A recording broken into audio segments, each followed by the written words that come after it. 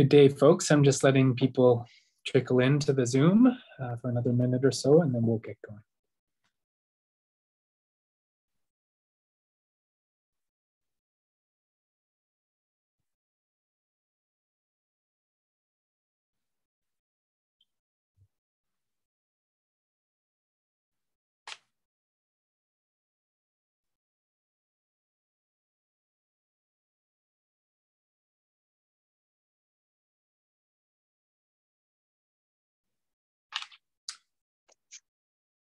Okay, welcome every, everyone. My name is Matthew Herder. I'm the director of the Health Justice Institute at Dalhousie University, um, which is located in Mi'kma'ki, the ancestral and unceded territory of the Mi'kmaq people. Uh, we are all treaty people. Um, it's my pleasure to be hosting you on Zoom today uh, with, we have an exciting speaker, uh, Professor Chris Morten, who's joining us from New York and Columbia University's Law School. I'll uh, introduce uh, Chris in a moment. Uh, just a couple of housekeeping points uh, for the, the seminar. Um, um, if you have questions uh, that come to mind uh, that you'd like to raise in the discussion that will follow Chris's presentation, um, please feel free to put those in the chat. Um, I'll be sort of moderating the discussion and reading those questions as much as people should be able to see them on the chat. Um, uh, so please feel free to engage during the talk, although we'll save the questions until the end. Um, uh, but without further ado, I'd like to uh, welcome Professor Chris Morten um, as our seminar speaker for this uh, to start uh, this semester. We're about halfway through our seminar series for the academic year. Um, professor Morten is an associate clinical professor of law at Columbia Law School in New York City, and he's the founding director of Columbia's SHIC, or Science, Health, and Information Clinic. He holds degrees in law and chemistry. His work as a clinical professor, um, uh, in that work, uh, Chris seeks to serve the public interest by seeking more equitable access to scientific, technical, and medical knowledge. His scholarship grows out of his clinical work and considers how law and policy shape the ways that knowledge flows through our economy, our society more broadly, and how law and policy influence how new technologies are invented, validated, manufactured, distributed, and used. Some of his recent publications describe the US Food and Drug Administration's legal authority to publicize a trove of valuable scientific data that it currently keeps secret or has kept secret. Other work analyzes the US government's power to use privately patented technologies in the service of the public interest and he presents a progressive vision for the pharmaceutical and biotech sectors of our economy and society post COVID 19. Chris, in my view, is, is someone who doesn't just criticize uh, powerful corporate actors like Big Pharma, he articulates a positive vision. Uh, and that's something that is, is, is, is really um, needed in this conversation about how do we remake the world of pharmaceutical knowledge production, technology, and so on.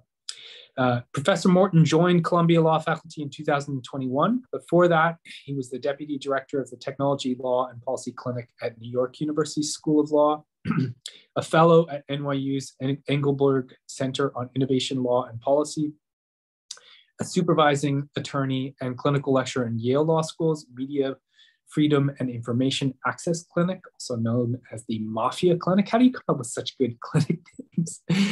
Uh, and the staff attorney at Yale's Collaboration for Research Integrity and Transparency, or CRIT. Maybe that's that's the weakest of the bunch. I'm sorry. he remains a visiting fellow of Yale's Global Health Justice Partnership and affiliate fellow of Yale's Information Society Project. Uh, before beginning his teaching career, uh, Professor Morten worked as a litigation associate and patent agent at American law firms. Uh, we're so pleased to have you join us, uh, Chris. Uh, over to you for a presentation that I'm really excited to hear. Um, thank you all so much, Matt, um, for that very generous introduction. Can, can you all hear me okay? Am I coming through? Okay. Um, thank you all for, for having me. I'm, I'm truly sorry that I'm not there um, in Halifax in person. Um, I very dearly want to visit uh, uh, Dal, visit Halifax, um, some family medical problems and a nasty chest cold um, of my own have kept me in New York City. Um, please excuse me, by the way, if you hear me cough or I need to take a break uh, for a sip of water.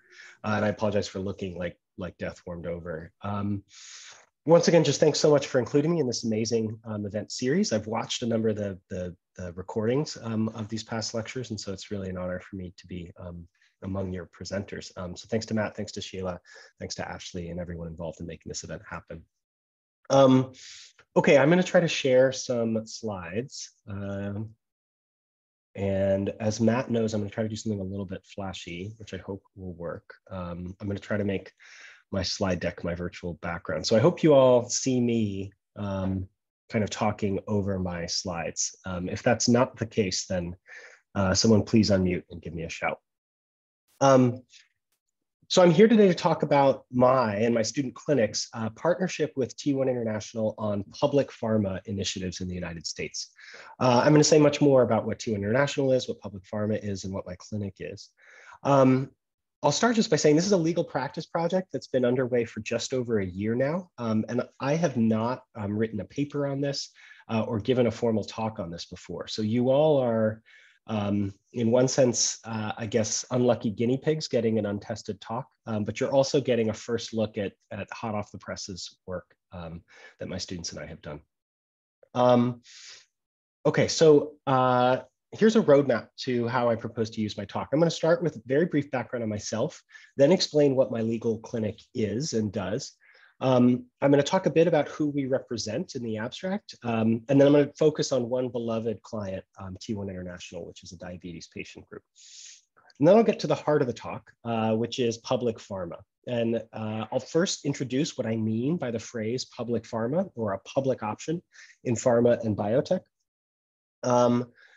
And then I'll give you the longer version. I'll look backward and explain how T1 International's public insulin project arose. Um, and then I'll talk about what my students and I have done with the Insulin for All activists at T1I. And then I'll talk a little bit about what I think the future holds um, for public insulin, public pharma more broadly in the United States. And I'm going to close with a, a, short bit of meta reflection on what this work means to me and why I think it's among uh, the most important stuff that I do. Uh, and I will acknowledge uh, some of the folks at T1 International and my students uh, and various allies who make this work possible. Um, and then I'm eager to take your questions.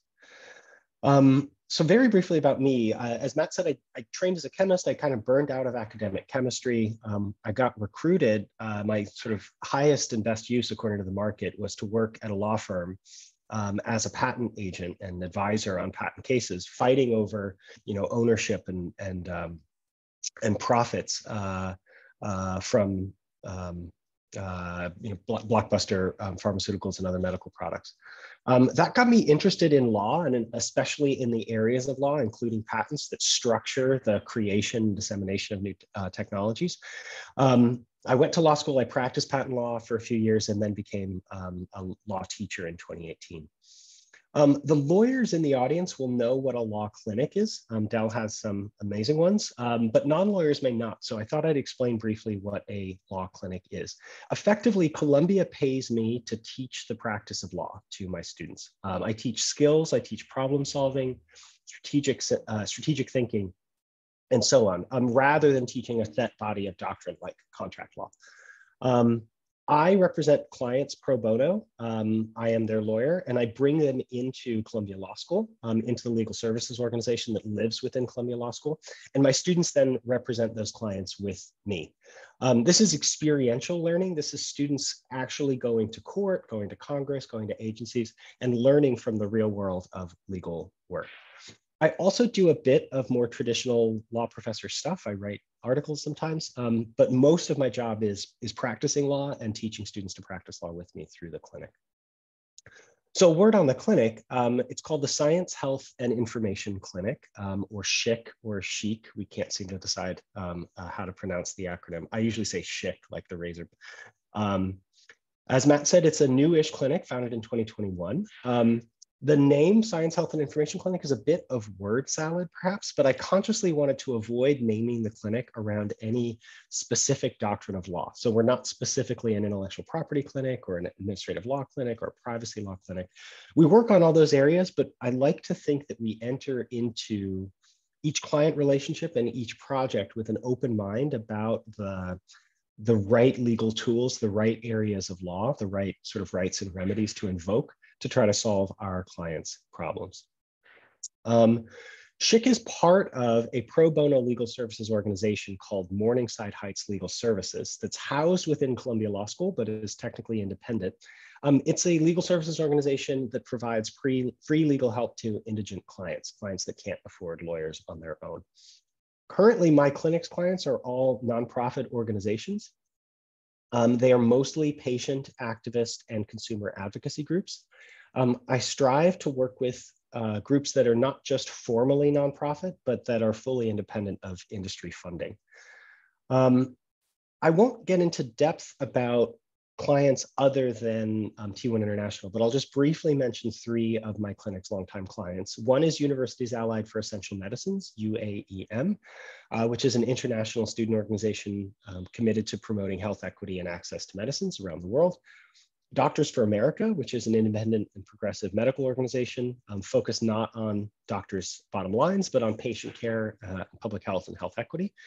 Uh, and Prep for All, uh, an independent HIV, HIV AIDS patient advocacy org. Um, in Q&A, if folks have questions about um, specific work I've done with these clients, I'm glad to, uh, to talk more. But I want to turn to um, T1 International and tell you a bit about um, who they are. So T1 International, as the name suggests, is an international organization. It's a not-for-profit um, that advocates for people living with diabetes. In T1I's own words, um, T1 International is a global type 1 diabetes advocacy organization led by people with type 1 diabetes for people with type 1 diabetes. T1 International believes in a world where everyone with type 1, no matter where they live, has everything they need to survive and achieve their dreams. And in 2024, T1 International was part of uh, the launch of the Insulin for All campaign, um, which has grown into a global movement. T1I is a health justice organization, but it's also an intersectional social justice organization. It's committed to racial justice, to gender justice, uh, and to meeting the needs of patients around the world, not just in the US and other um, global north countries. Currently, T1 International has, uh, I think it's 41 or 42 chapters um, in various US states. Um, and it has chapters or, or um, uh, uh, partners and advocates in more than 20 countries around the world. Uh, T1 International also prides itself um, uh, on not accepting any money from the pharmaceutical or medical device industries. Um, Incidentally, I'm a bit embarrassed to say that I know little about T1I's presence in Canada. Um, I know that they have volunteers and campaigns here, um, but uh, unfortunately can't share much more than that. As a US lawyer, I've really worked with um, uh, their US chapters. Um, so I mentioned that they're independent. Um, another thing that attracted me to T1 International and makes me proud to represent them um, is that they are, uh, or they aspire at least to be a true patient-led, member-led organization. Um, as I said, they have dozens of chapters across the US, and some of those chapters have um, hundreds of volunteers. And the chapters and various working groups that work on specific issue areas uh, become the engines of the organization. Chapters and working groups vote on priorities, and then T1I's leadership, their staff, implements those priorities. Um, it's not the other way around. Um, on screen here are three of the current priorities voted on by T1I's US federal working group. Um, those are a federal price cap on insulin, new legislation for that, an end to tax breaks for big pharma, uh, and patent reform. Um, T1 International also has a, a state level working group. Um, they currently have four priorities voted on um, by their chapters, by their members. One is Alec's Law, which creates an insulin safety net for people at risk of having to ration um, or go without insulin. Kevin's Law, which allows pharmacists to dispense insulin if a patient is in crisis and can't reach a prescriber. Public insulin production and procurement, um, which will be the focus of my talk. And formulary reform and non-medical mid-year plan switching to try to prevent patients from experiencing um, stressful and dangerous changes to their insulin options. Um, so uh, I, have already said this, and I, I, I, guess I don't want to belabor this, but um, I will stress that T1I um, has declined any funding from um, pharma and medical device companies. Um, they're transparent about their funding and you can check their website. Um, they currently rely on a mix of philanthropies and small dollar donors. Um, I personally give every month. Um, patient groups, as many of you know, um, even nonprofit patient groups and patient groups that do, in many cases, really important work, um, are often not independent of the pharmaceutical industry. Um, there's a report that Public Citizen put out last uh, month um, that I think is really eye-opening. Um, shows that that there are some patient groups that um, derive the majority of their funding from pharma and biotech companies, and um, not not surprisingly, end up adopting positions preferred by those companies. Um, the American Diabetes Association, a much larger organization than T1I, for example, received at least $11 million in grants from Sanofi and at least 7 million from Eli Lilly um, between 2010 and 2022. Um, Sanofi and Eli Lilly, of course, two of the big three insulin manufacturers. Um, so T1I is different in that regard.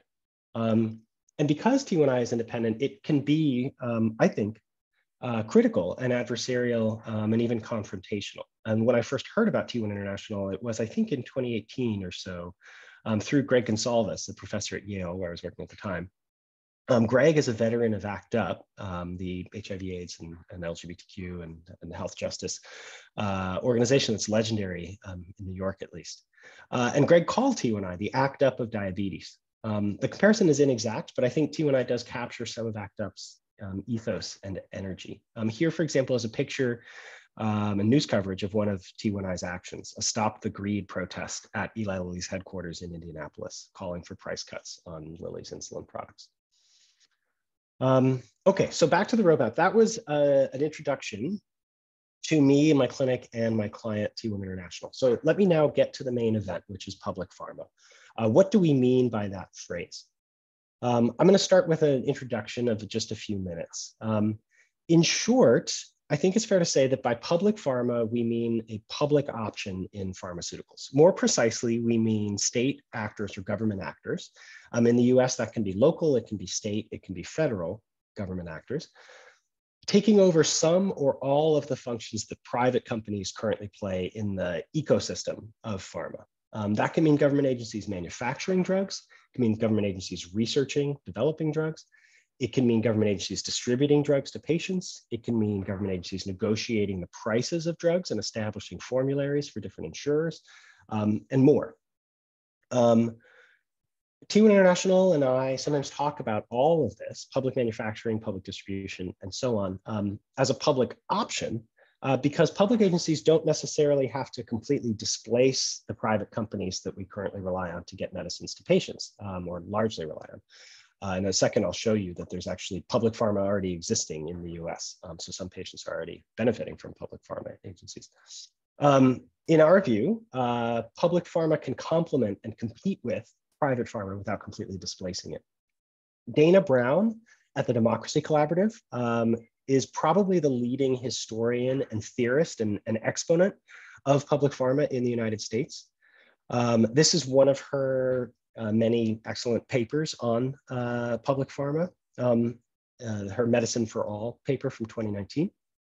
And she uses this framing a lot, a public option.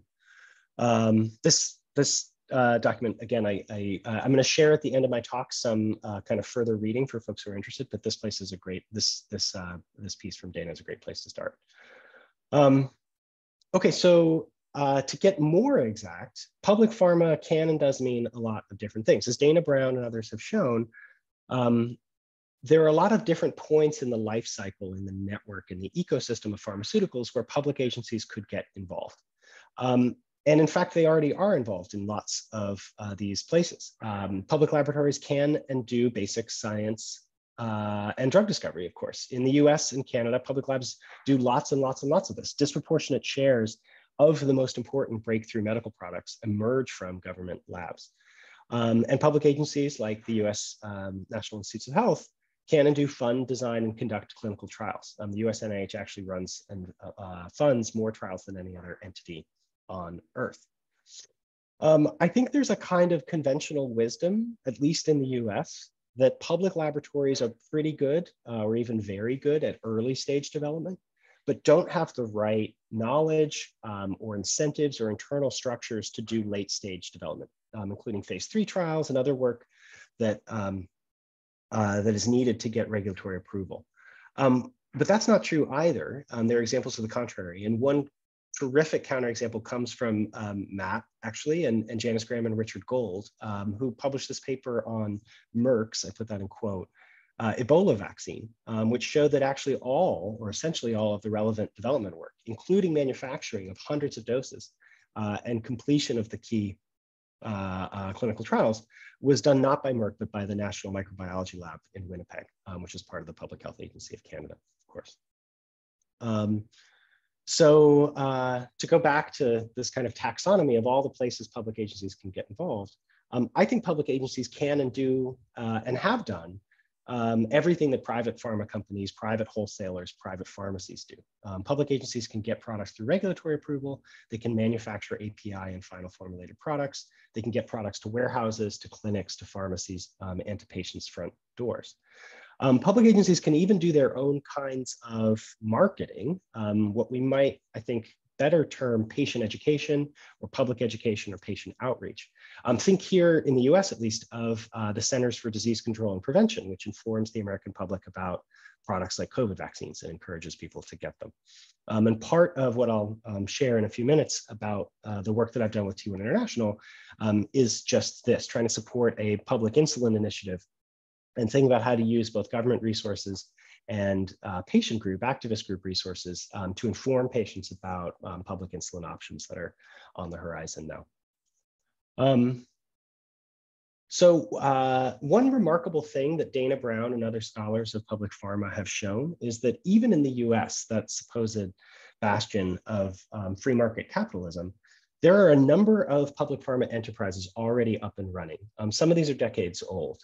Um, we have, for example, the CalRx Public Drug uh, Manufacturing Initiative in California, uh, which has been funded with tens of millions of dollars, which has announced an intent to begin manufacturing and distributing not just insulin, which I'll focus on um, in the remainder of my talk, but also naloxone. And they're promising drugs getting to patients in um, the next few years. Um, but we have other extant public manufacturing initiatives like Mass Biologics, which is a division of um, the University of Massachusetts Medical School established over a century ago. Um, Mass Biologics continues to make vaccines and other biologic products um, and distribute them throughout the US.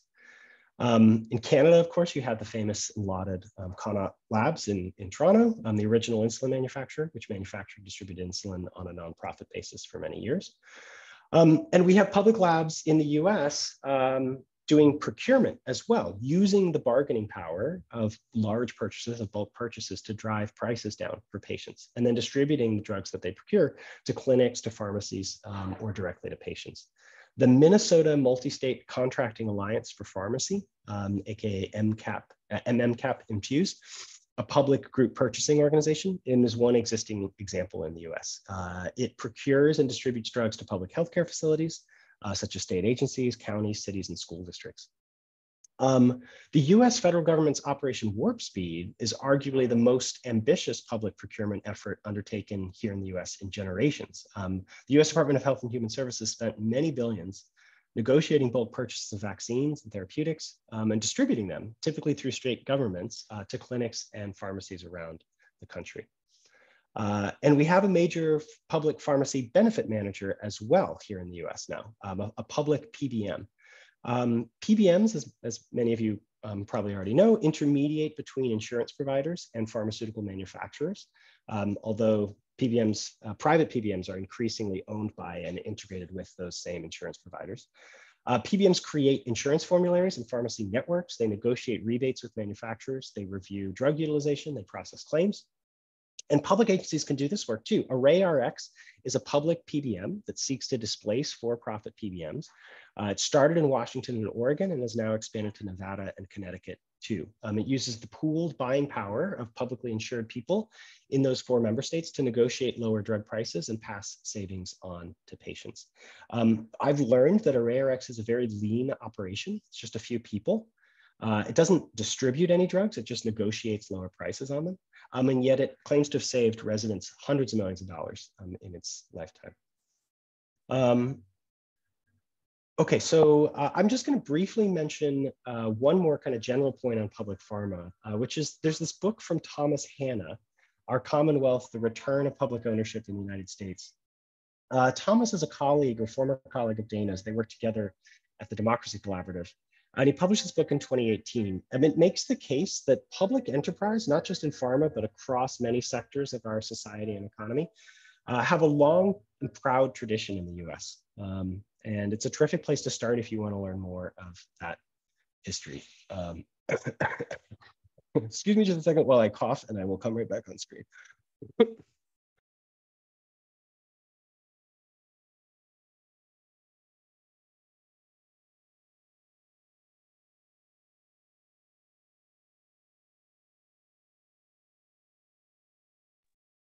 Okay, sorry about that. Um, okay, so this gives me an opportunity to talk uh, a bit more at a high level about why we might want public pharma over private. Um, I think I've gestured a bit at this. Um, uh, and in a second, I'm going to get specific about why T1 International thinks that public agencies can do a better job of manufacturing and distributing insulin than for-profit companies can. Uh, but let me give you some high-level arguments first. Um, Dana lays these out really beautifully in the piece um, uh, on screen. Um, first and foremost, probably is cost savings. It's a truth almost universally acknowledged um, that healthcare is broken in the US, um, and that part of that is that prescription drug prices, at least brand name drug prices, are too high. Um, I'm not going to get into the why and how, although I'm glad to talk more in Q&A. But I think high prices in the US are the number one driver of interest in public pharma. Um, medicines are usually cheap to make once developed. Um, brand name drugs are often sold at a massive multiple, um, 50 or 100 times their manufacturing cost. Um, public drug manufacturers can and do make and sell some of the same medicines at much lower prices. They can sell them at cost or they can even give them away for free. And lower prices have all kinds of beneficial uh, spillover effects. Poor, un and underinsured people who suffer um, most from high drug prices um, get better access to these products. Um, public insurers and public health agencies can allocate, could reallocate spending that, that currently goes to um, big for-profit drug companies, uh, to other kinds of healthcare, um, and so on. I'm glad to talk more about the cost saving point, but I'll, I'll pivot to another that I think is critical and a little bit less widely known, which is control of the R&D agenda. So the for-profit pharmaceutical company has for many decades neglected uh, some of the most pressing areas of research from a public health perspective, um, things like tropical diseases, antibiotics, vaccines, and more. Um, we pay higher and higher prices for products that's, that often provide uh, little therapeutic benefit to individual patients and little benefit to overall public health. R&D oriented public pharma labs can focus on the research likeliest to produce real breakthroughs. Um, and public development and manufacturing capacity can take promising discoveries already emerging from public labs like NIH and create alternative pathways to get them to patients. Public pharma can also mean resilience against drug shortages. So the US FDA reported a record number of generic drugs in shortage last year. Um, hospitals report rationing cancer and other drugs. Generic drug companies say the profit margins on many of these drugs are too low to keep them interested in manufacturing them. A public laboratory, a public manufacturer um, could make essential generic medicines and help ensure a steadier supply. Uh, and in the US, Senator Elizabeth Warren and Representative Jan Schakowsky have proposed a bill that would do exactly this. Um, and there are more potential benefits that, that Dana and others have outlined. Things like data sharing and open science. Um, a not-for-profit public lab could commit itself to doing the highest quality science and then providing broad and prompt and equitable access to that science. Um, it's an industrial policy move. Public pharma labs and manufacturing plants could provide stable, high paying jobs. Um, I think especially appealing in an industry that's grown um, increasingly financialized, um, where jobs are, uh, um, uh, where workers are experiencing um, stagnant salaries. Um, and the mere prospect or threat of viable public pharma options um, in manufacturing and procurement and PBM and elsewhere may chill some of the most egregious behavior from private pharma companies. Um, from PBMs uh, and other for-profit entities. In other words, we may not need to realize public pharma completely to begin seeing some of its benefits. Um, I think the pharma system in the US is so profoundly broken that there's a lot of room for improvement and experimentation. Public pharma doesn't have to be perfect or perfectly efficient to outcompete um, some of the private companies currently preying on American patients. Okay, so um, that was an overview, I hope helpful. Um, now I wanna get to my specific work with T1 International and let me start with some history. How did this project arise? Um, I mentioned that I'm a patent lawyer, and the very first work that I did with T1 International um, was uh, patent reform work. We developed comments on proposed USPTO and FDA rulemaking um, and policies, um, urging some reforms of patent examination. Um, and I'm glad to talk about that work. Um, but as we were doing that work together, California's public insulin initiative was really taking off in late 2022 or so. Um, so uh, California enacted a statute in 2020 that committed the state to direct some money and resources to make and distribute, um, or make or distribute, I should say, low-cost insulin and perhaps some other drugs. Um, T1 International's California chapter was involved um, in the enactment of the law, by the way, to my knowledge. Um, and in fact, uh, in 2020, before the California law uh, was enacted, T1 International had published a white paper with Public Citizen advocating for a range of state legislative solutions to the problem of high insulin prices in the US, um, including public manufacturing of insulin. Um, but it was in 2022 that CalRx insulin really sort of took off, um, hit the headlines. That was the year that California confirmed that it would commit itself not just to procuring low cost insulin, uh, but actually making it and it promised an ambitious timetable. It promised insulin in patients' hands as early as 2024. Uh, California's governor, Gavin Newsom, gave a splashy press conference where he said, nothing epitomizes market failures more than the cost of insulin, and that California is now taking matters into our own hands. Um, as of 2022, the big three insulin manufacturers were charging over $300 per vial of insulin um, to patients without insurance. Uh, and many patients, especially those with type 1 diabetes, need multiple vials per month um, of multiple insulin products to live. Uh, a recent national survey, um, I think in 2022, actually found that about 17% of all people living with diabetes ration their insulin. T1 International's own surveys suggest that it might be even higher, like a quarter. CalRx promises to charge just $30 a vial, um, much lower price, a price at which many fewer people should have to go without. $30 vials of insulin could transform the lives of many people in California uh, and put pressure on the big three manufacturers to lower their prices in other states too. So T1I and I thought this is an opportune moment to try to shape the CalRx initiative and make sure it serves patients, um, especially on and underinsured patients, patients in rural areas and other disinvested areas, uh, and so on. Um, we thought T1I could marshal its um, energy, its volunteers, its voice to make CalRx a success. Um, I hadn't done much on public pharma. I was a patent lawyer after all. Um, I had written a short piece in 2020 with Dana Brown and Alex Lawson and Fran Quigley, urging for um, public vaccine R&D and manufacturing and distribution. Um, but I had a lot to learn about um, insulin and the unique challenges. Uh, but just kind of personally and selfishly, the more I learned and thought about CalRx insulin, um, the more excited I was to be personally involved, um, not just on, uh, and, and, and to make CalRx insulin a success, not just on California's terms, but on T1 International's uh, success for all people living with diabetes in California. Um, I think Gavin Newsom's splashy press conferences and the news coverage in 2022 and 2023 has made CalRx, for better or for worse, the poster child for public pharma in the US. So if CalRx succeeds, public pharma will have its biggest and boldest proof of concept yet. Um, if CalRx fails, as um, uh, the Wall Street Journal editorial board hopes, uh, for-profit drug companies and their boosters will use its failure to argue that public pharma was misguided um, from the start. Um, okay, excuse me, I'm gonna take a quick uh, drink break and come right back again. I'm so sorry for this.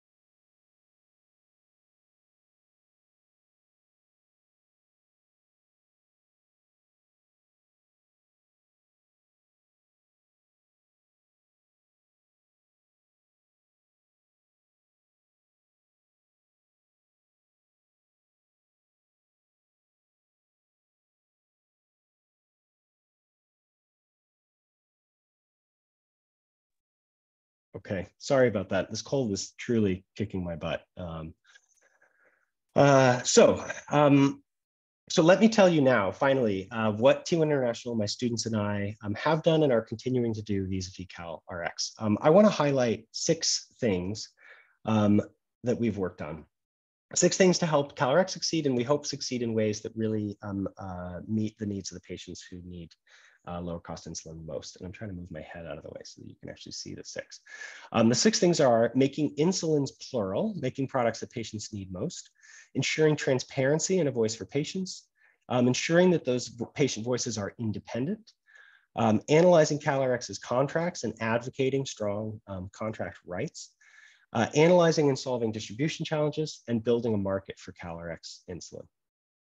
Um, so let me start with making insulins plural. Those in the audience who live with diabetes or have loved ones who do, um, you already know, um, but I confess I did not know before I started working with T1I.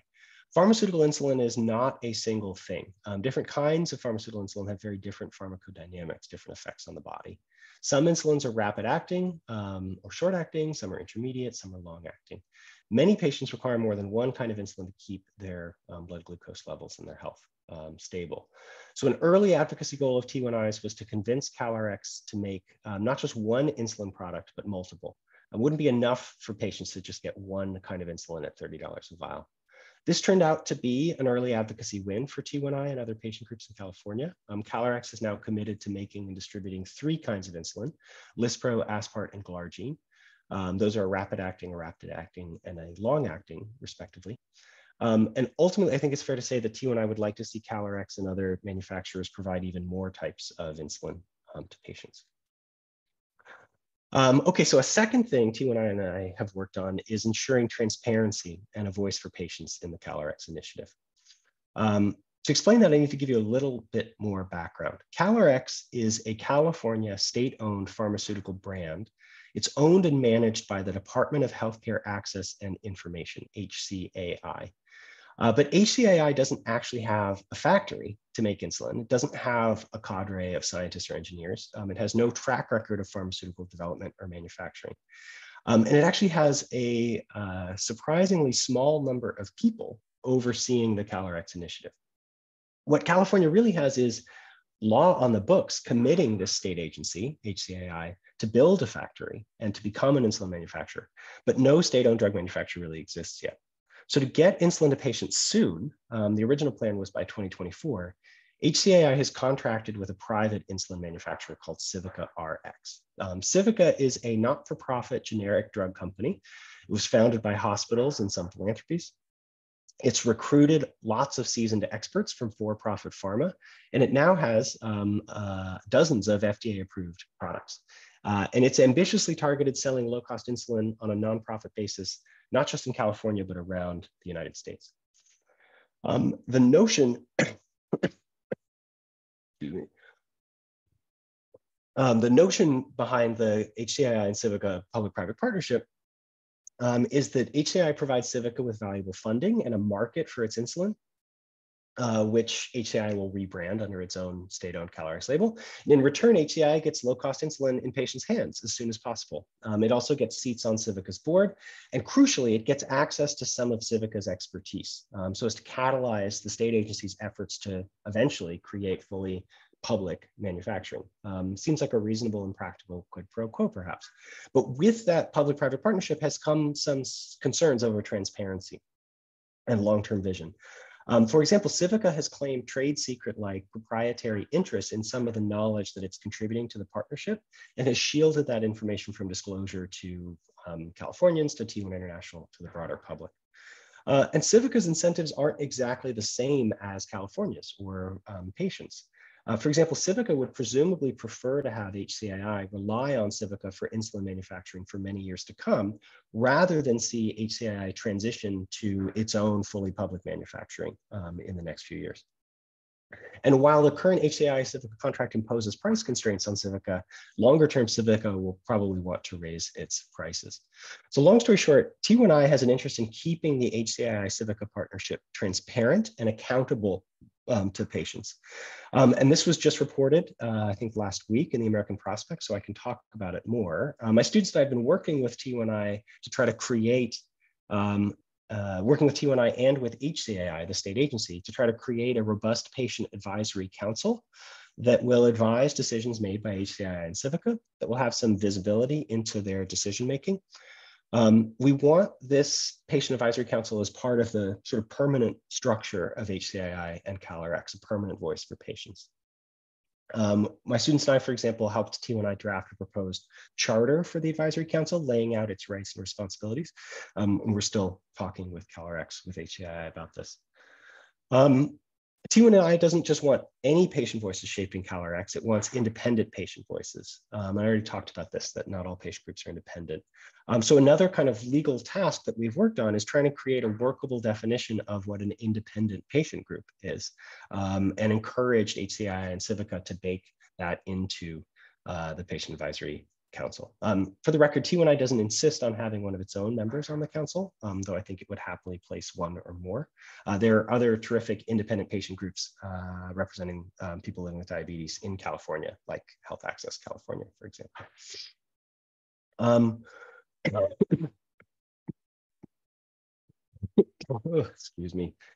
Um, another big thing that we've done with T1 International is contract analysis. So even before the Patient Advisory Council has been created and populated, we've been offering informal advice to HCAI officials responsible for um, CalRx and responsible for contracting with Civica. Um, and we've urged HCAI to fight for rights to um, certain kinds of information, certain things um, that we think will position HCAI to shift to fully public R&D and fully public manufacturing in the years to come. And that includes rights to things like regulatory data, uh, to intellectual property and more. Uh, the first major HCAI Civica contract was announced and released just this past March. My students and I have done a detailed postmortem of the contract, and one of my students, Nicole Kuntz, and I have a short article in the works analyzing what we think is good about the HCAI and, and Civica contract, um, but also some thoughts on what we think could be improved. Um, and uh, we're thinking about this piece not just as shaping CalRx, but also shaping public insulin initiatives and public pharma initiatives more broadly in other states as well. Um, let me digress just briefly and say that the HCAI Civica contract illuminates how slippery the term public pharma can be. Um, CalRx is undoubtedly a public pharma initiative. We have a state government agency owning a pharmaceutical trademark. It claims or intends, and by all rights, uh, by all indications, it will uh, procure and distribute drugs on a nonprofit basis. Um, but it's not totally clear that CalRx or HCAI as it stands now is really a public manufacturing initiative. Um, and public manufacturing, sort of as you drill down, you realize um, can mean a lot of different things. It can mean fully public manufacturing where government agencies own and operate the factories. It can mean government owned but contractor operated factories. It can perhaps even mean things like publicly traded, even for profit companies where a government agency owns a controlling share of the stock.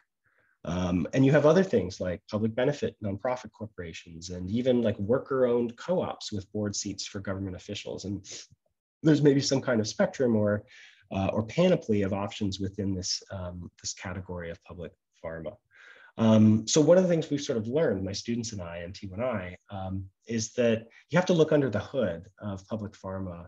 You have to look sort of at the function and not just the form uh, to see who has control of the infrastructure, who has control of the knowledge of the key rights. Um, the other last digression here I'll just say is there's just, we've seen incredibly rich opportunities for lawyering here. Um, you know, contract interpretation, looking at state corporate law, um, thinking about charters and bylaws, um, this is not my traditional specialty, um, but I've done my best to, to learn enough to keep up with my students and to give T1I and HCAI the best advice I can.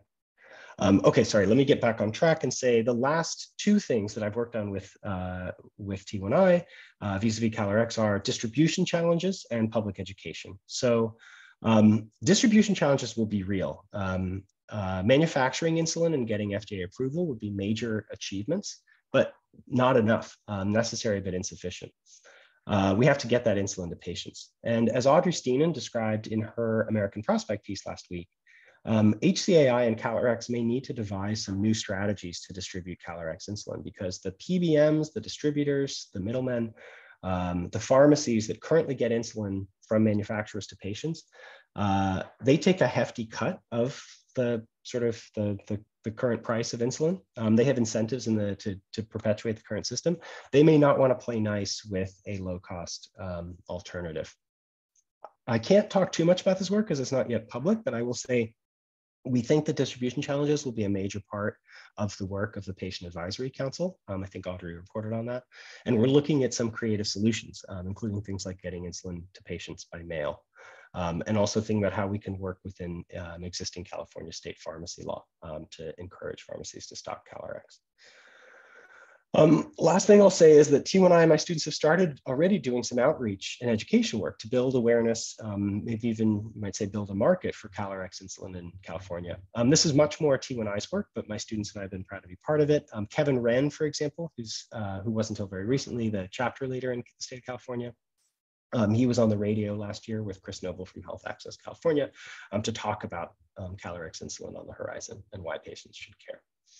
Um, Patient outreach and education, um, knowledge and resource sharing among people living with diabetes is a, is a core part of T1 International's work. And so it's a core part of my clinic's work too. Um, I'll just say briefly, like T1I, part of what it sees as its job is um, it's, you know, it's not just kind of winning these big policy victories, uh, it's also building and sustaining mutual aid networks and knowledge networks. Um, and after every legislative victory that T1I has won, um, like for example, getting emergency insulin laws passed in Minnesota and other states, T1I has done outreach uh, to patients to educate them, um, to inform them about these laws that provide um, you know, new rights, new access to insulin. Um, so that's part of what we're thinking uh, uh, we need to do when CalRx insulin finally launches. Okay, um, so I'm going to turn briefly to the future of CalRx uh, and other public insulin efforts before I close. Um, the challenges are very real, um, even vis-a-vis CalRx, which is the big banner initiative in the US so far. Um, you know, I've mentioned some challenges already, transparency, accountability, um, distribution challenges. Another one, very practical challenge, is that Civica has apparently fallen behind its ambitious development timetable. Um, so in November, Bloomberg Excuse me. Uh, Bloomberg reported that Civica is not yet ready to file for FDA approval, and the um, patients are now unlikely to see CalRx branded insulin before 2025. Um, at the same time, I think the CalRx insulin remains a vital uh, and even transformative intervention into the broken insulin market in the US. Um, I'll say uh, to kind of uh, anticipate some questions that I've gotten um, talking about this or parts of this work before. Uh, many of you may know that in early 2023, um, and again actually last week, the big three insulin manufacturers, Sanofi, Novo Nordisk, and Eli Lilly, announced massive price cuts to the list prices on some of their products, um, some as big as 80%. Um, and some products uh, uh, are now officially at least priced at less than $30 per vial. T1 International um, and I too uh, are wary, um, unsure that these price cuts are actually reaching patients, um, especially the patients who need them most. Um, last year, T1I did a survey of pharmacies uh, and patients across the US and found that most people were unable to get the promised 25 or $30 vials of insulin. Um, and one major manufacturer, Novo Nordisk, withdrew an older product called Levemir from the market completely uh, in the US after promising to cut its price a few months prior. Um, so uh, T1I and I continue to think that um, public pharma, as imperfect and and uh, uh, uh, uncertain as it is, still offers um, uh, uh, a promising alternative to um, this sort of track record of, of broken promises and exploitation from these big for-profit manufacturers. Um, to that end, um, T1I is trying to get more states to embrace public insulin manufacturing. Um, and my students, Jeannie Lay and Kyla Alston, Nicole Kuntz, and Zelly Rosa have written an extensive toolkit, um, what we call toolkit, to guide T1I and other patient activists as they advocate um, for public insulin, uh, not just manufacturing, but procurement uh, and PBMs in various states around the country. Um, we're continually updating this document with research. Uh, Jeannie and Kyla wrote an op-ed with T1 International staff member Allison Hart last year. I'm encouraging more states to look at the CalRx model. Um, and I think it's fair to say, even despite the challenges CalRx has encountered, uh, momentum is building. For example, the state of Maine has established a commission to explore the possibility of public insulin manufacturing there. Um, Allison Hart of T1 International is one of about a dozen experts on the commission. Uh, also, Connecticut just joined the Array RX public PBM. Um, so that public PBM is growing. Um, hopefully insulin will be cheaper for patients living in California. Um, all right, I think I'm going to try to wrap it up and reflect and close as I've, I've already talked longer than I intended. Um, I just want to offer a handful of quick reflections on why I find this public pharma work exciting, um, inspiring even. Um, one is that there's so many places to start. As I, I tried kind of roughly to taxonomize before, public pharma can mean public R&D and manufacturing, but it can also mean public distribution, public PBMs, uh, figuring out how to get meds to people by mail. Um, there are opportunities, I think, to rethink every link in the chain from sourcing starting materials to getting medicines actually to patients. So there's just lots of opportunities to do work here. Um, and it, kind of on that point, there are not nearly enough practicing lawyers, at least in the US, working on this. Um, I think we need more help. Um, T1 International has questions that we haven't been able to answer. And I know um, from conversations I've had, there are other patient and consumer groups, um, you know, kind of representing people living with other kinds of diseases and conditions looking for legal help. Um, everyone from cancer patients, um, there's been you know, dozens of cancer drugs in shortage in the US in the past couple years. Uh, people living with ADHD, ADHD drugs have been in shortage. Um, so folks are looking for help to kind of get new public pharma initiatives off the ground. I'm glad to put lawyers with time and interest in touch with some of those organizations um, if, if you're listening.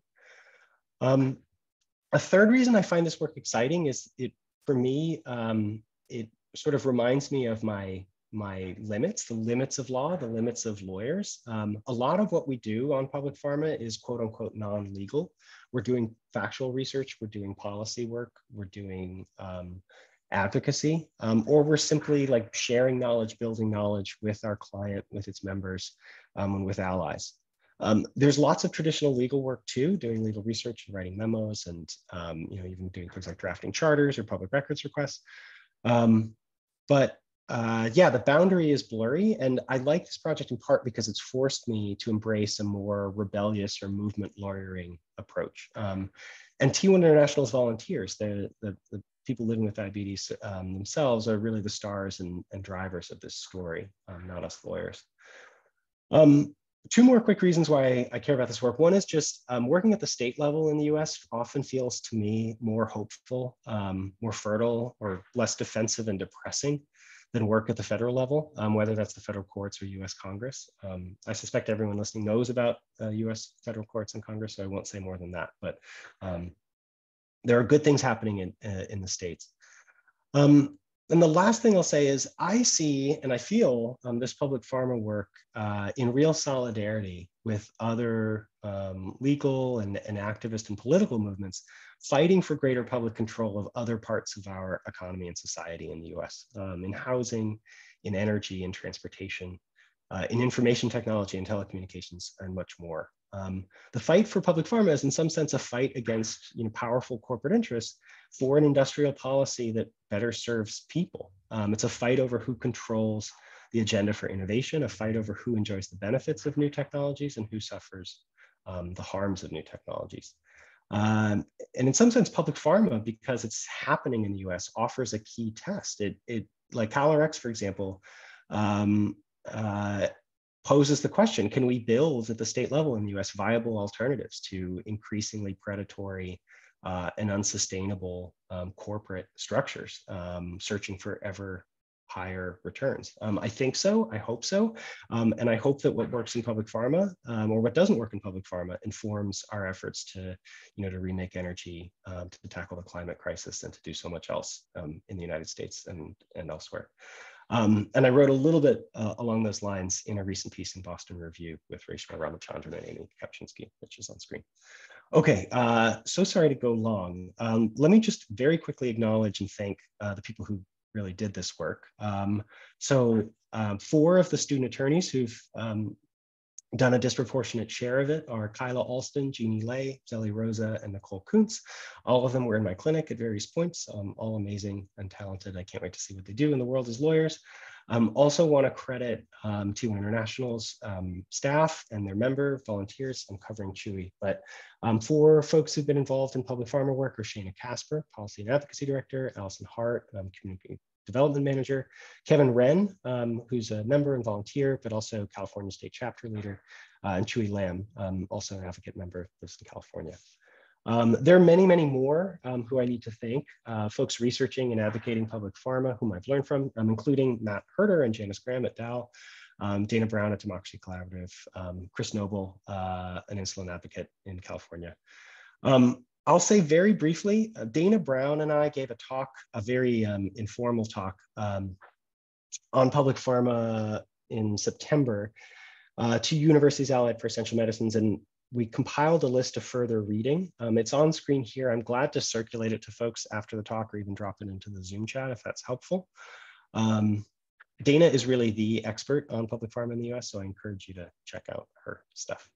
Um, okay, that's it. Let me um, stop talking and I'm eager to hear um, your reactions and questions. Thanks.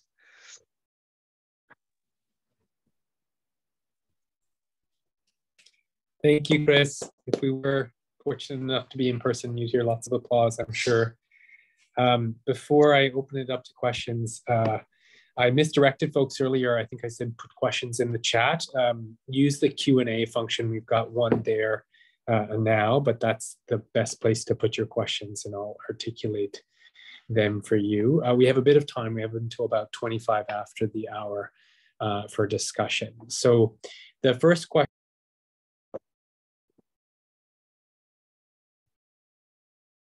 Hey, Matt, I'm so sorry. I, I heard you say the first question, but then I, I haven't heard you say anything since then.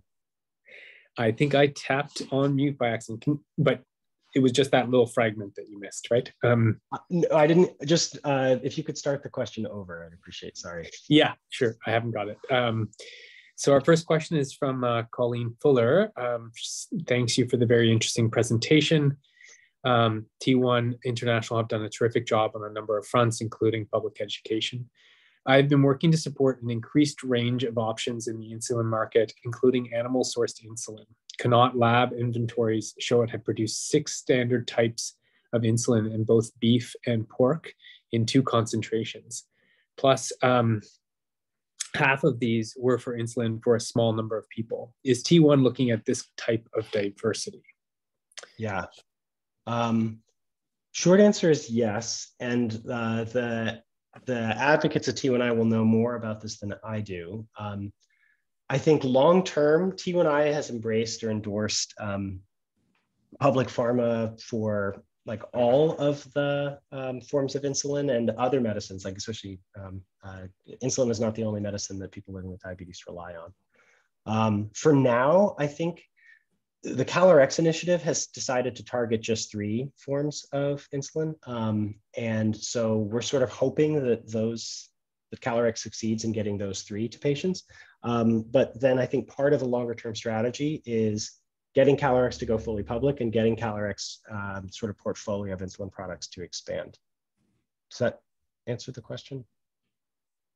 I think so. And, and Colleen, we welcome a follow up if you want to add one into the the Q&A box and please others feel free to do so. In the meantime, Chris, I was really um, uh, you know excited to hear the connection with this uh, this broader movement to sort of um, take back control and have a stronger public presence in all sorts of sectors. Um, but I, so I wanted to kind of ask a question about social movements and political strategy um, mm. because I think you know part of the value of this work in pharma in particular um, in terms of building up a movement is naming all of these things that are in fact already public pharma right and that's how you point to like how it's all these things and more um, and i think that's powerful to showcase the value that the public sector already does and perhaps identify areas where it's not there enough yeah. but i guess i wanted to invite you to reflect on whether there are downsides to not being more specific about that vision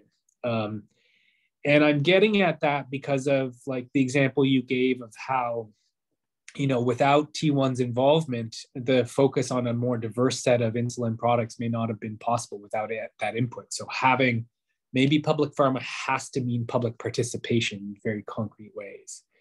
But i'm also thinking about some of the other things you listed like fill and finish uh, you know some manufacturers of vaccines. Uh, in speaking with other manufacturers and state controlled enterprises in Brazil, they will say, we will never do fill and finish because it leaves us vulnerable to supply chain problems.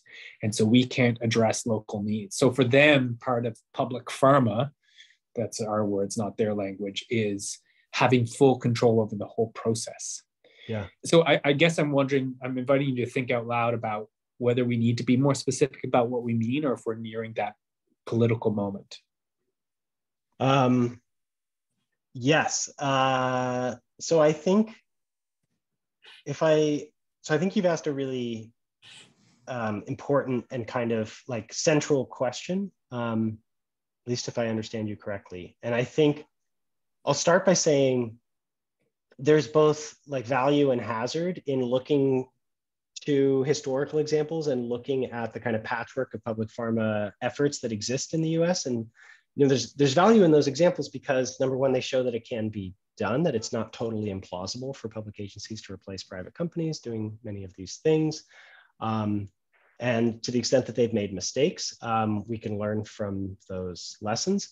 Uh, but part of the hazard of looking at um, what already exists or has exist, existed is that it, it can kind of narrow your um, your vision and make you think that like the only things that are possible are what we've tried before. Um, and I think they're in the world of public pharma. I think Dana Brown will be one of the first people to talk about this, and she indeed has already started writing about this. And I think others thinking about kind of public governance of important kinds of infrastructure um, all are grappling now with questions about um, how to create um, institutions, whether those are public agencies or public benefit corporations or other, whatever the precise formulation is, institutions that are democratically accountable, that serve patients, that also kind of respond to a broader democratic public, and yet are not so I don't know, like you want some level, if it's a drug manufacturer, you want some level of independence, right? You don't want, I think, like the research agenda getting reset every election or something. So right. I, long, long story short, I think um, one of the deep theoretical questions in the area of public pharma is like, what are the ideal arrangements within these institutions? If we have in the US at least, right, we have like you know, volumes and volumes and volumes written on corporate law and how to orient organizations, orient, orient firms around, um, you know, shareholder return, um, maximizing returns for shareholders. And we have boards of directors and executives and securities litigation and all of this law that exists to structure those organizations in ways that serve shareholders. Um, if shareholder profit, shareholder returns is not the ultimate you know, goal of a public pharma agency, we presumably need very different rules and different incentives, but I don't know that we know exactly what those are yet. Um, and I think people are starting to write about this in different ways in different places, and Dana's among them. Um, I have a colleague at Columbia Law School named Katharina Pistor, who's teaching a class this semester that I'm going to try to sit in on called the Law of Non-Capitalist Enterprises that looks mm-hmm. at worker-owned co-ops and looks at other kinds of um, uh, uh, sort of nonprofit seeking or institutions for which profit is not the only or main goal. Um, and basically, I hope to learn more. I've just given you a rambling answer uh, with no punchline, but that's, this is where we need people writing and thinking about this desperately. I think. Yeah, yeah. And the CalRx yeah, initiative. A lot of conversation about how do we change the status quo, and we people don't define what actually the essential features of the status quo are and what an alternative likes conversely. But right. the Q&A is starting to fill up, so I'm going to make sure to pivot to some of the other questions, but that, that was very helpful. Um, so another participant asked that they understand private pharma companies are engaged in lots of political lobbying in different ways, um, but do private companies ever provide the government directly with funds to conduct public pharma activities? And how much of a barrier do you think big pharma's political agenda plays in a shift to a more public pharma? Hmm. Good questions. Um, well, I certainly think big pharma's political agenda plays um, an enormous role in the shift or in the in resisting the shift to public pharma. Um, and I think that some of the news coverage, for example, like when California enacted its law in 2020, there was very critical news coverage. I mean, with lots of kernels of truth, but critical news coverage that said, um, you know, uh, public agencies, like command and control economies have failed.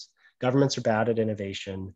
Um, but also there are all these like practical considerations that governments won't, state agencies won't be able to crack. Like you have refrigeration, you have supply chains, you have like this very complex interplay of many, many, many actors.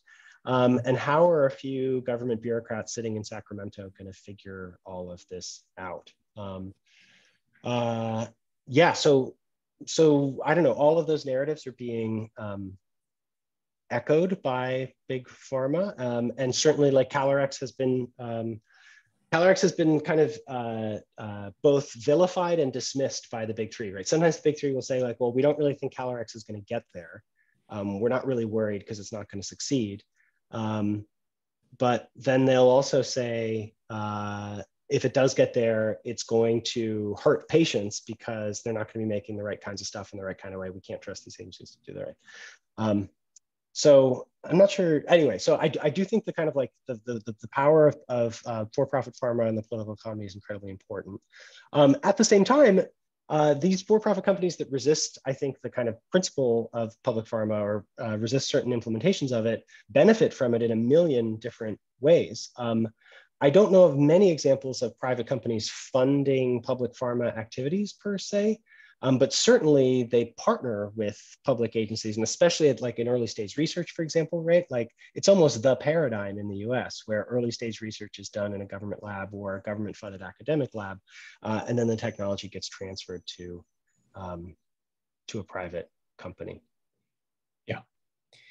Um, just moving on, just to make sure we get through a few more questions because they're they're really helpful. Um, Harrison asks, seeing the drugs are priced very differently country to country, what pressure can you put on big pharma companies to lower prices in their countries uh, that do not have a robust patient advocacy system? Yeah, and there is no T1 International.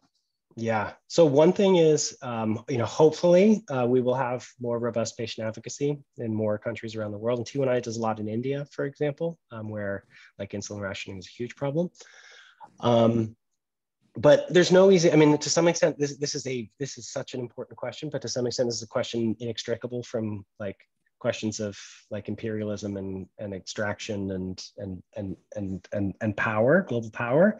Um, so I don't have like a specific public pharma solution to this, except that my hope is that a public pharma manufacturer um, like CalRx could make and sell its products at low cost all over the world, not just in the place where they're made. And that goes back to incentives, right? Like CalRx um, I hope that CalRx's goals are not to maximize revenue, and thus, if CalRx sells to other states or other countries, it's not charging Eli Lilly like prices. I hope instead that you have, you know, honestly, what we've seen, for example, with um, like Cuban um, vaccines, where you have a manufacturer selling products at low cost all over the world. Yeah, very true. Um, Sheila Wildeman asks uh, a few questions. I'll just, for the sake of time, uh, try to drill down on one or two. Um, first, can you comment on challenges or strategies around access to mifepristone in particular? Mm. Um, and then also this this thought around whether focusing on public pharma might skew things away from other clear you know uh, drivers of health outcomes the social determinants of health and alternatives to pharmaco- uh, pharmacological interventions so is there space for those that sort of wider set of questions and possible interventions in the context of public pharma? As Sheila, I hope I'm doing justice to your question. Yeah, thanks for those questions. Um, I'm going to take the second one first, just to say, um, yeah, I at least think of public pharma work as kind of a subset of public medicine work in the US. And then you have, and uh, I say that because I think a lot of the folks who embrace public pharma are among the folks who are skeptical of the like sort of silver bullet, like the pharmaceutical solution to um, health problems, um, and would really like to see universal health care or universal health insurance in the United States, whether that's Medicare for all or another system, and the development of more um, public health infrastructure in the US. Um, I think of this work as complementary and not contradictory. I mean, part of the problem in the US, part of the story of disinvestment in public health in the US has been that we pay so much for drugs and we have this kind of like, you know, we allocate X billions of dollars every year and we have the story of innovation, the story of like silver bullet solutions. Um, I think about things, for example, like um, state prison systems in the United States spending so much money on sofosbuvir, the hepatitis C cure, um, that they couldn't afford other kinds of healthcare. So anyway, I hope the work is complementary and not, um, um, it doesn't displace uh, um, other work. And gosh, mifepristone, I haven't, I don't know of any public pharma effort on mifepristone. Um, mifepristone in my mind would be a good candidate because it's a generic drug. It's relatively simple to make. Um, uh, you know, so much of the kind of the turmoil in the US over mifepristone has not been about price, but just about whether the drug's approval will survive. That's being challenged right now. Um, and whether states like West Virginia will be allowed to create their own effective bans on the drug. Um, if that's the case, I'm not sure that having a public source versus a private source makes, makes a huge difference, but it's something I want to think about more. And that's separate work that actually my students and I have done with a different client, Doctors for America, um, on access to mifepristone. Um, just do one more because we only have time, but it's it's great to see that this talk has provoked such a good discussion. Um, so Amanda Porter writes, this talk was excellent. Uh, thank you. While I see some of the benefits of distributing mail, by mail medications to patients directly, I did find myself wondering about potential risks of skipping the pharmacist's usual role in providing patient education, assessing appropriateness, and so on. Uh, it seems like empowering pharmacists to work side outside of for-profit pharmacies might be an area to explore so that we can both obtain financial benefits for patients while also reducing risks that might arise from cutting the pharmacist um, as opposed to the pharmacy out of the picture. Mm, terrific point. Um, I think there are real trade-offs there. I think the sort of meds by mail, I mean, there are advantages um, I know for mifepristone, for example, there have been major improvements in access um, to the drug achieved through uh, the legalization of mifepristone by mail in the US. But there are also harms that attach to like removing a professional uh, and, a, and, an opportunity for advice to, to patients. Um, I think right now it's, uh, I think that, that, that um, insulin by mail is maybe not the optimal solution, but might be a workable solution um, for CalRx and perhaps for other public insulin initiatives. But this goes to a broader point that, like, to some extent, what we're trying to do is figure out how to get public pharma initiatives started against the backdrop of these private actors that are really unwelcoming to those initiatives. But over time, you know, perhaps we could imagine. I don't. I don't actually know if there's any history of public pharmacy infrastructure in the U.S. But I'm sure there is. Actually, with the VA, and I'm, I'm absolutely certain there is.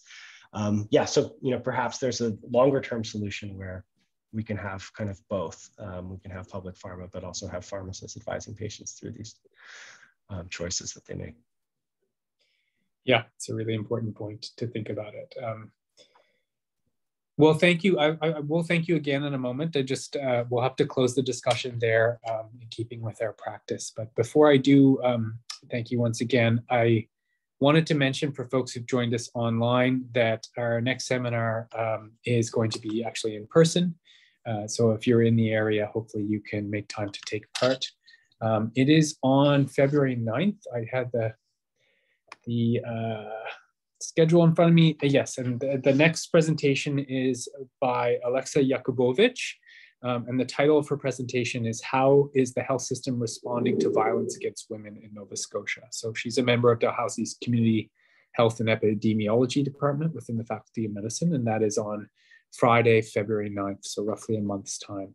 Hopefully folks will be able to get together uh, on that date. Um, with that said, uh, I just wanted to thank you again, Chris, not just for a provocative talk, but also kind of a courageous performance with the symptoms you're enduring right now. Uh, you don't look like death, uh, but we really uh, feel your pain. I think uh, it's you know it's such a rich topic, and um, I really appreciate you persevering through the presentation. I'm, I'm so grateful to uh, for you all to to have invited me, and I appreciate your patience, forbearance as you. I sort of felt like performance art at points as I like, uh, uh, you know, sweat and coughed my way through various parts of the talk. But thank you.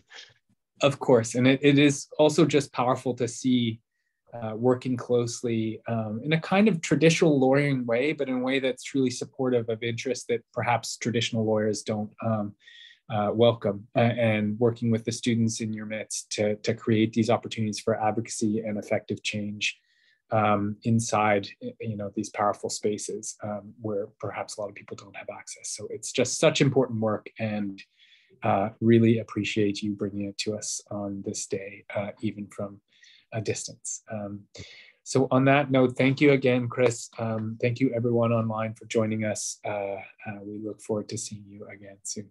And can I say one more thing, which is email me. I'm going to put my email. Sorry, I'm now um, uh, blasting the poor Zoom chat, but I've I've dropped a link to uh, the list of further reading that Dana and I compiled a few months ago, and I've just put my email address in there too. So glad to hear further questions and reactions. I have to I think cut and paste that to make sure everyone. Oh, sorry, sorry, sorry. Okay, I don't mean. I'm gonna extra work. No, no, it's it's totally okay. But I will just suggest if folks look up the Health Justice Institute at Dal and want to email me, I can relay that information. Um, just as people start to drop off the call, so I wanted to mention that. Great. But thank you once again. Thanks so uh, much, Matt. Thank you all. Take, Take care, care, everyone.